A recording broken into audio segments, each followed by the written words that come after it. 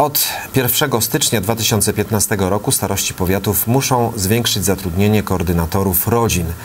Ma to związek z wchodzeniem w życie nowelizacji ustawy o rodzinach zastępczych. Do zadań koordynatora rodziny należy pomoc i objęcie nadzorem rodzin zastępczych, w których znajdują się dzieci pochodzące z dysfunkcyjnych domów. Do tej pory jeden koordynator mógł mieć pod swoją kuratelą do 30 rodzin, natomiast po nowelizacji ich liczba spadnie do maksymalnie 15. Jeżeli chodzi o powiat nyski, mamy 103 rodziny, a w związku z tym, że mamy 103 rodziny, gdybyśmy chcieli koordynatorów do tych 103, to musielibyśmy mieć 8 koordynatorów.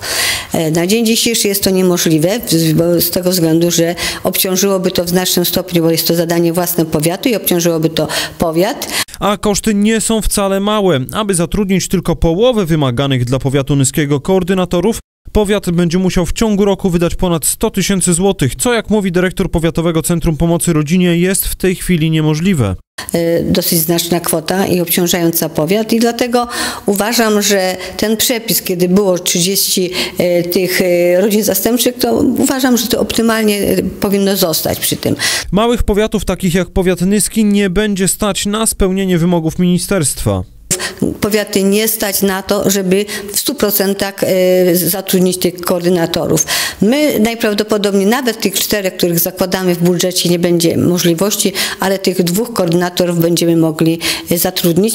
Wspieranie rodzin zastępczych jest bardzo ważne, zwłaszcza gdy znajdujący się pod ich opieką wychowankowie pochodzą z trudnych rodzin. Znalezienie pieniędzy na zatrudnienie kolejnych koordynatorów w związku z rosnącymi wymogami ministerstwa stanowi nie lada wyzwanie dla starostw w całej Polsce. Wiele z nich zapowiedziało protest, inne w tym Nyskie zamierzają zwrócić się do ministerstwa z prośbą o dofinansowanie.